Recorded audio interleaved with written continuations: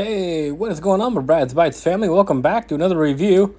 Went over to the 2023 California State Fair uh, on Saturday. It was like 105 degrees. So enjoy these pictures of all the food places I got uh, taken here.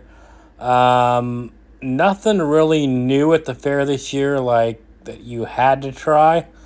Um, same old, same old stuff, but um, I got a, a, as you'll see at the end, I got a corn dog.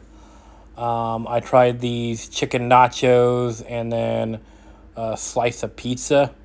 So we're going to go through here, look at these pictures. I mean, they had the usual ice cream, corn dogs, um, uh, you know, just deep fried stuff on its stick. Um, they had, see, pineapple chill, pina coladas, as you see there um, giant baby bottles. um, again, there you go, deep fried Oreos, Snickers, things like that. Uh, little Hotties donuts with Gunther's ice cream right there. I should have got that, but again, it was like 105 degrees. So, uh, got the giant turkey leg there, always good. Uh, didn't get that this year though. Uh, got the popcorn right there, candy apples. Um, whole bunch of the funnel cakes, of course, right there. Um, got the deep fried calamari, all the fish stuff right there, shrimp, uh, cinnamon rolls, always good. I passed on that though, too much sugar for me.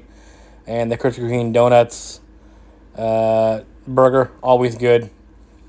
Um, yeah, so uh, coming up here, you got the corn dog right there. That was seven dollars.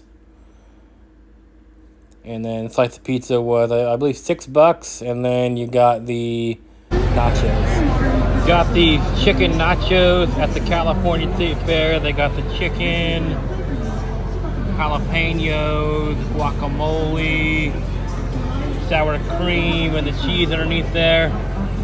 I'll let you know how it is next. Nachos were pretty good. I would say, I don't know, 8.6 out of 10 good good taste, good flavor overall. So I would get them again. I hope you guys enjoyed my adventures at the California State Fair.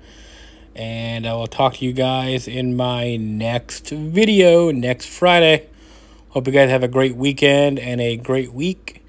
And I will talk to you later. Peace.